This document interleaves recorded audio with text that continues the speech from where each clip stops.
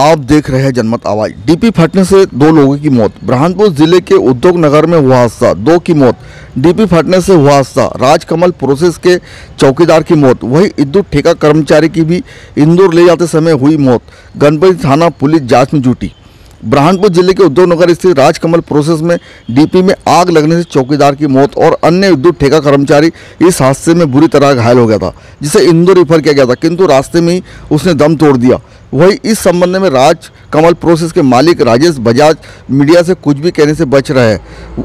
वही गणपति थाना पुलिस मर्ग कायम कर घटना की जाँच प्रारंभ कर दी गई है। आखिर इतना बड़ा हादसा हुआ कैसे? वार्षिक मेंटेनेंस नहीं करते थे फैक्ट्री मालिक, जिसके चलते मजदूर और एक अन्य अपनी जान गंवाना पड़ी। चंद रुपए बचाने के चक्कर में मजदूरों और एक अन्य अपनी जान गंवाकर करना पड़ी, भरपाई। आइए देखते हैं। आज दिन में दोपहर के समय योग नगर में एक डीप प्रोसेसिंग जो फैक्ट्री थी, वहाँ की डीपी में कुछ टेक्निकल या कुछ मिस्टेक से आग लगी और आग लगने के बाद डीपी में कुछ ब्लास्ट जैसा हुआ होगा।